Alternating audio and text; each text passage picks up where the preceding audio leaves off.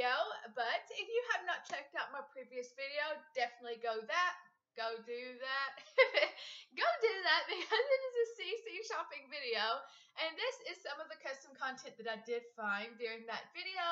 Um, I am not too impressed. Uh, actually, some of the pictures of the content was quite deceiving. And then once now I have it in game, it is definitely not maxis match. It is alpha and to me, it just does not look right. It does not fit the aesthetic. I do not like it, and that is my own opinion, and everyone is entitled, you know, to their own. So let's just leave that there.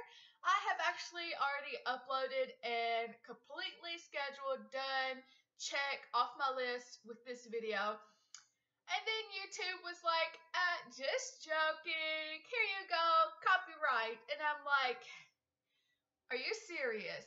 So guys, if you know of any really good websites with non-copyright music or creators or anything like that, leave it linked down below because I am on the hunt. Even if there's a membership fee or or or whatever, still link it down below because if it is a good enough site or it has good enough music that I'm willing to pay um, to have music on my videos. So this is actually the very first create a sim that I've ever talked through, and I'm running out of things to say, guys. Uh, yeah, which is kind of hard, but I feel so intimidated, even though there's nobody in front of me. I'm just talking to my computer.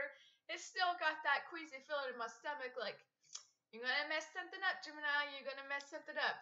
But um, I am doing a lot better as far as my leg goes.